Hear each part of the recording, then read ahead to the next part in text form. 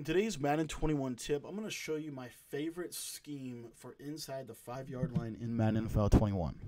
What's up, guys? My name is Cody, and I want to thank you so much for taking the time to watch today's video. Now, if you've never been to my YouTube channel before, uh, my channel focuses in on Madden 21 tips and tricks that are designed to give you some food to chew on, some thought, um, some material uh, that you can really use and apply to your own game. Now, uh, what I'm going to be showing you today is out of our Arizona Cardinals offensive guide. So if you like this formation, we actually have an entire ebook that goes through and breaks down the air raid offense from the Arizona Cardinals playbook. And it's we've got over 125 pages. It gives you one play touchdowns against pretty much any defense that you can face. It's going to show you uh, really how to read the defense and turn yourself into someone that really can pass with the best of the passers in the game. And so, if you want to get access to that ebook, all you got to do is click the link in the description. It'll take you to um, it'll take you to the checkout page, and you can pick that up. A lot of people have really appreciated that guide and have really improved from that guide.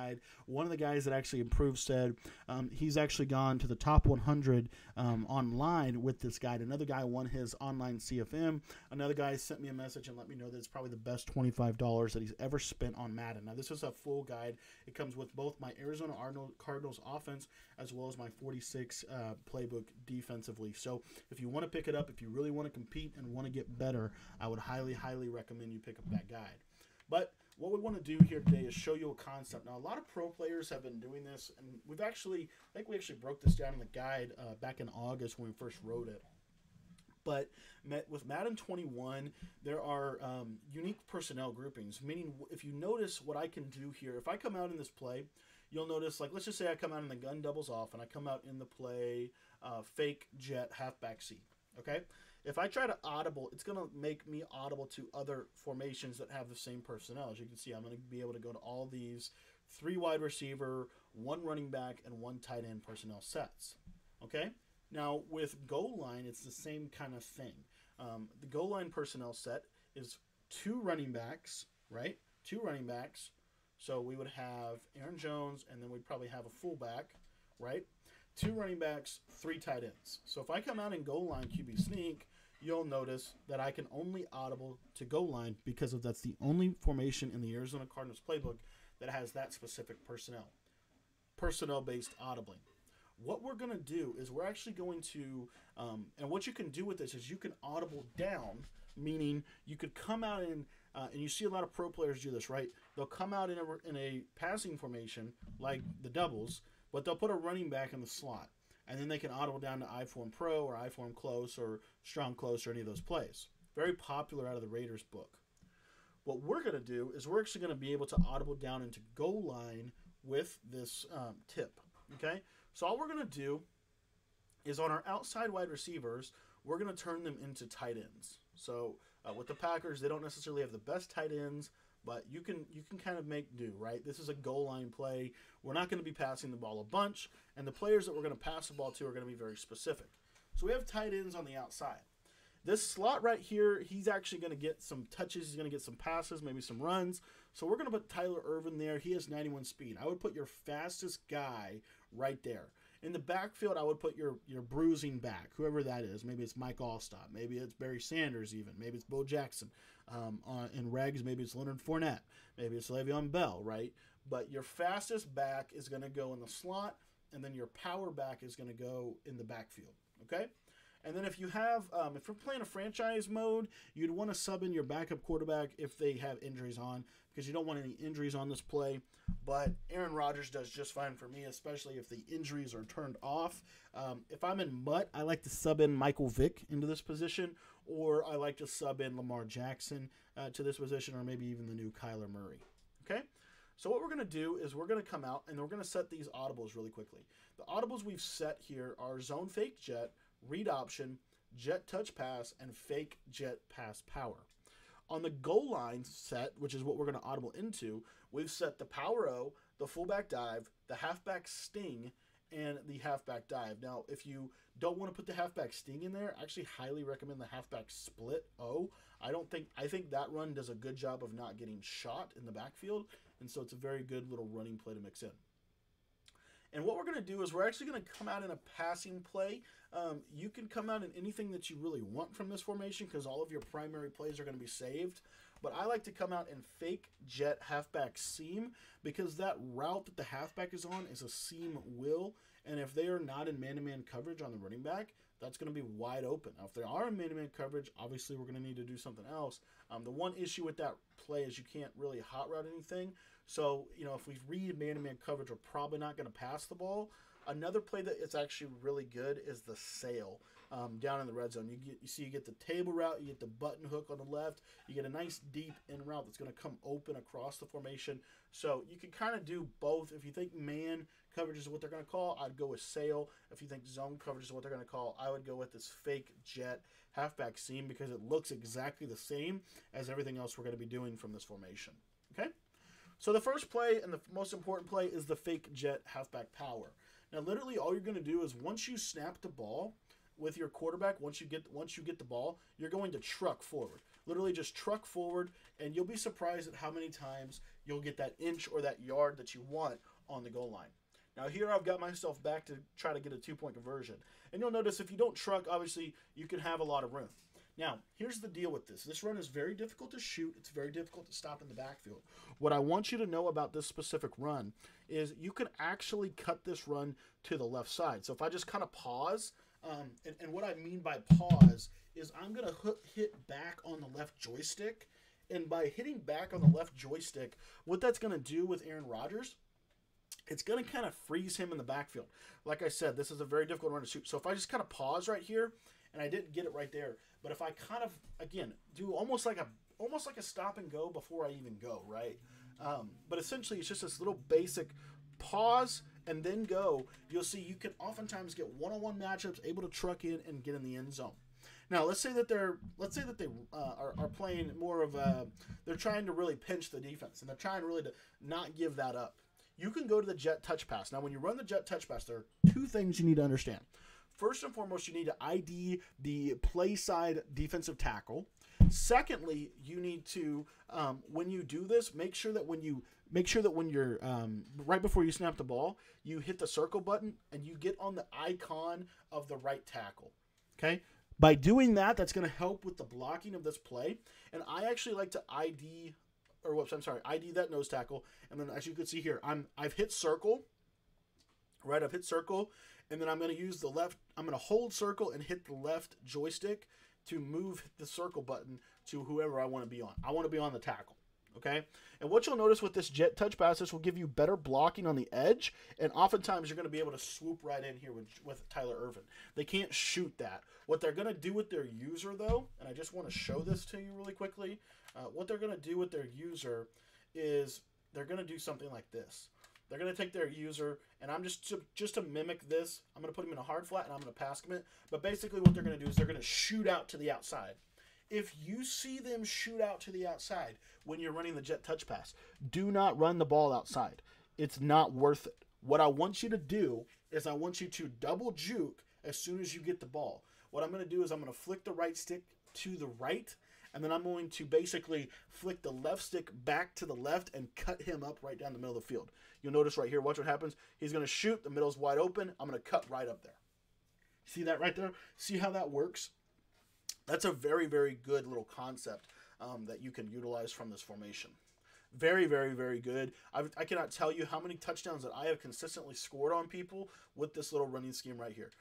Nice little double juke right there, and I didn't quite get it what I was looking for.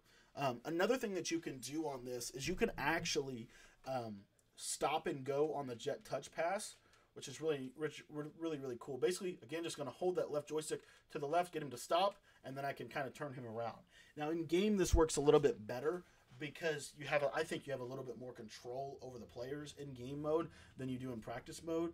But like I said, make sure that you're make sure that you're IDing here, make sure that you're clicked onto the tackle, and then at the snap of the ball, what you'll notice is again just kind of, and again it's not quite working the way that it would work in a game, but you kind of want to stop him and go. And again, um, with this play, what you'll notice is it's very deceptive, right? You can you can run really any direction, and you see here I could just jet him all the way out to the outside if I wanted to, uh, very very easily within this play and get a pretty good gain uh, typically. So we'll go jet touch pass one more time, show you this. But again, if I just kind of swoop out, and when you run it to the outside, you want to swoop out behind your running back. You don't want to be leading. You want that running back to be able to make that block on the user. Okay? The next play that I like, and this is when they start to sell out, right? When they start to sell out to the right run. Maybe they shift everybody to the right or something like that. Run this fake jet pass, uh, halfback zone play. I think that's what it's called zone fake jet. And uh, what you'll notice is the defense will go with this guy, and you can run right underneath it. Now, when you run right underneath it, obviously this is not the best blocking. This is this is something that you're going to go to if you see them start to shift. The key is they need to shift. So maybe they shift to the right, you know, and they do some stuff like that.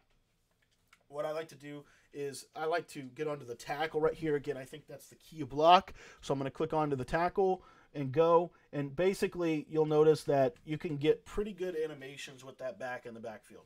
Um, you, you typically, it's, it's basically an inside zone. That's all it is. Um, it just looks exactly like that that uh, touch pass and QB power. Now, another thing that you can do, I want to show you this really quick. I didn't get it right there, but I want to show you one other thing you can do. So, like, let's say they're uh, again, let's say they're shifting everybody to the right. Maybe they've based a lot. Maybe they're maybe they're doing something like this, right? Um, make sure that we're showing blitz and doing all the things that people are going to do in the red zone on you. Now, if I go to this zone fake jet, what there's going to be a window of opportunity, and what I can do is I can actually, and the biggest thing is shaking off that slot corner. That's the biggest thing with this run um, that you're going to need to worry about because the slot corner is going to kind of sit right where he's supposed to sit. Now, most of the time, they'll actually, you know, they'll do something like this. They'll bring the safety down. You know, again, they'll be shifting everybody. They're, they're trying to prevent the, the, the jet touch pass over the fake jet because it's such a powerful combination. Well, then you go to something like this. And that's what I'm looking at right there. And you can truck right up the middle of that of that run play. If they over pursue to the jet touch pass, then then you can go to something like this zone fake jet. Another thing you can do is once you get the ball with your running back, you can actually double juke him to the outside, and this will actually be very very effective um, for for beating this. Another thing you could do again, and I'm just talking about using the double juke as different methods for when you can really take advantage. So you could actually double juke left and right and get that one cut right up the middle of the field and power it in for a touchdown. So very very effective red zone strategy. Now, the last thing I want to, or a couple more things I want to show you. The first uh, is this read option.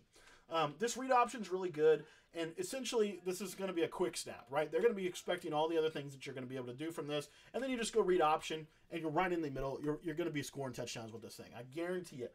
Now, the next thing that you're going to see here out of this read option, uh, let me show you what's going to happen if they uh, if they crash down. So again, you're just reading your read defender. Here they're going to crash down. You see, you got that tight end there to be able to secure that edge for Aaron Rodgers. Now, one other thing that I like to do is I typically will actually motion this guy over just to kind of keep it consistent if I want to. Again, it, it's kind of you know based on tendencies and all that stuff. But you can motion them over. Again, it's not that it's not the auto motion. They're going to be able to tell that.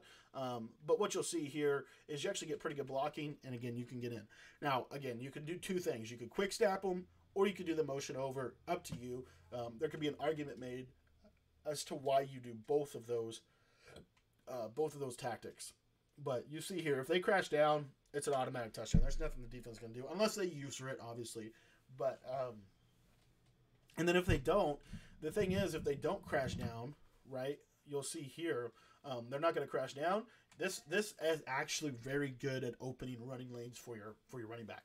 So you have all these plays, and the last play I want to show you. This is for when they start to do things like run commit, right?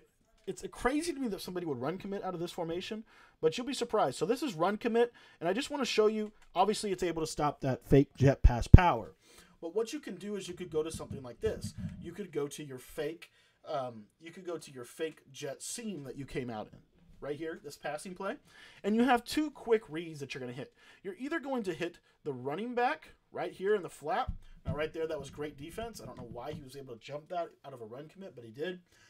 But basically, if they run commit, you're going to hit your little your little um, uh, not your crossing route because that's going to be where their user is going to be, but you're going to hit your little running back wheel.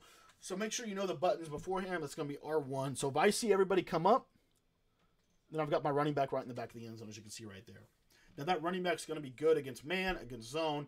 Um, he's he's he's not going to be good against like man if they pass commit, and we'll show you that real quick here. Um, this is man man. See see how he gets in the back of the end zone like that.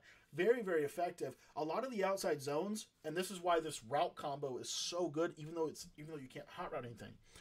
Irving is going to pull the flat zones with him. So they're not going to be able to run flat zones, and the seam wheel is going to get in a really nice little spot in the in the back of the end zone, as you can see right there. Very smooth, very clean. Now, let's say they run something like a man-to-man coverage on you. Maybe they catch you off guard, and they run man-to-man coverage on you. What you'll notice about this play right here is this little quick route to the back. If I throw it quick, he'll actually beat man to the sideline, and you can get in right there. Uh, it's a little bit of a again, because of the crossings of this play and because of the way the play is going to work, especially if you know if people are going to run man to man, they're oftentimes going to run. They're not going to run cover two man. They're going to run man blitz. Man blitz is going to be way worse against this because this route to the back, you'll notice. And again, I'm just going to get out of here, cancel that, get out of there, and get the flat out to him. And you'd be surprised at how oftentimes you could just truck right in there and get in the end zone for the for the touchdown. The other thing you can do against man to man and this is more for the guys that um, don't have great user over the middle. Um, you'll notice right here this crossing route, passing that to the right, and oftentimes you can actually get that open against man-to-man in the back of the end zone. Your streak routes are not really an option. That's the one issue I have with this play. I wish you could hot route. If you could hot route and put them on smart run and curls, that would be perfect. But you'll notice in the back of the end zone, they don't really get open. Um, but this crossing route is going to go all the way across the back line of the end zone. So you can hit that as well. Like I said, man coverage is going to it's going to give this the hardest time. If you see man to man, again, if they're blitzing heavy, which they most of the time will be, you're just if you see man, just throw it, um, just throw it to your little slot back or your little your your, your back as he's motioning uh, across the formation, and you'll be surprised at how consistently that is going to beat man to man coverage to the side. Right there, just throw it, and again, again, this is going to take a little bit of practice, but what you need to do is you need to basically get out of that animation and get the ball to the back uh, as quick as possible. So maybe hitting like right trigger uh, and throwing it, getting out quick.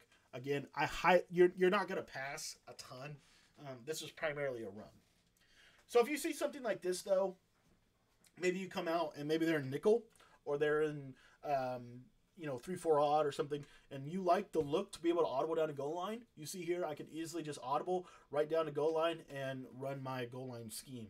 Halfback dive, halfback split O, halfback power O are all in my arsenal. So something like this, right? So the defense is in nickel 335 wide. So what I would say is, okay, well, nickel 335 wide doesn't, in my opinion, it doesn't do the best job at stopping power O. So I could go into this halfback split O, and you see I can run it right down right down Main Street. Halfback split O, I think, is one of the most underrated runs because it's very difficult to shoot the run against the against this. Now you say, well, what if they run commit on you? Um, what if they what if they run commit on you once you go down the goal line? That's certainly a, a concern.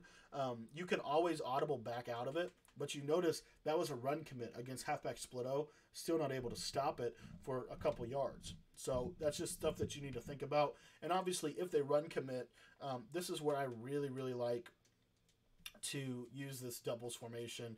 Um, you'll notice if they run commit to try to stop jet touch pass, you actually have a chance. Um, you know, you actually you actually will be able to a lot of times get this jet touch pass to go. Uh, again, as long as I'm clicking onto the right players and getting them in the right positions, you'll see here's a run commit, and that jet touch pass is untouched to the outside. So if you start to see tendencies like that, you can obviously counter it with that measure. Um, the other thing I really like about this is if they do run commit against the quarterback run, oftentimes it's not as um, it's, it's not super consistent. You see the you see that the, there's potential for that run to get in. So there's some things that you can do uh, off of this off of this. But if you see something like this, this is quarter three deep. You know, you just catch them. You know, maybe you just like I said, you, you come out in a doubles. You see what they're doing. Now, if you catch them in a look, then go down to fullback dive and um, even though he's a fast back, he's still going to work very fine for him. I mean, he's going to be very effective. So it's a very, very good little short yardage scheme that I wanted to share with you guys. Um, we've been doing this for a while out of the Arizona Cardinals playbook, and it's been very, very effective. So again, the full Arizona playbook has passing plays, has full scheme uh, breakdown. Again, we show you how to get one play touchdown against every coverage. We show you routes. We show you uh, constraint theory plays, plays that are designed to help you. Um, we actually have a kind of a glitchy screen that you can utilize out of the Arizona book as well. But all in all, guys, this formation pound for pound, one of the best goal line sets in Madden NFL 21. It's amazing this year. Um, I cannot stress enough how powerful it is, and I cannot stress enough how this right here is the number one reason we don't need I formations in the Arizona Cardinals playbook. Obviously, the playbook doesn't come with I formations, and so you're you're forced to kind of use something like this. But I'm telling you right now, I would rather do this than run I form tight any day of the week. This is very, very effective as a running formation this year, and I highly encourage you to check it out, to try it out for yourselves. You can do this out of the spread playbook as well. Um, I think you can also do this out of the Carolina Panthers playbook um, if you wanted to, but very, very effective combination of plays that you can utilize in the red zone to be able to start to capitalize. Because the one thing that spread does a doesn't always do a great job of is capitalizing and being able to score consistently in the red zone. With this combination of plays right here, you're going to be very, very effective at that. So I want to thank you for watching this video. Like I said, if you want to pick up the full scheme, we have over 125 pages. People have done have just really seen a lot of improvement in their offense and defense from the guide. You can pick that guide up. It's in the description of this video. Um, and then also, if you haven't joined our text message membership, we actually have a free gun cluster breakdown out of the same playbook that you can get 100% for free. Um, and it's in my text message membership. So if you text me, my number is 812 216 3644. I'll shoot you a link to that video as well as the rest of our text message membership playlist, which at this point I think has seven videos with over eight and a half hours worth of video content and breakdown showing you exactly uh, some of the best and most powerful schemes in Madden NFL 21. So great opportunity to take advantage of that. All you got to do is text me. My number's in the description. It's also in the top left hand corner of your screen. And our next Madden video, our next tip is going to be live at 8 o'clock p.m. Eastern Time tonight. And then we will also be uh, live on YouTube uh, streaming this against Weekend League gameplay uh, tonight at 10 o'clock p.m. Eastern Time. We'd love to have you come hang out with us, talk Madden, and we'll answer any questions that you have. Thanks for watching today. I hope you enjoyed the breakdown, and we'll see you on stream tonight on YouTube. Thanks a lot, guys. We'll see you.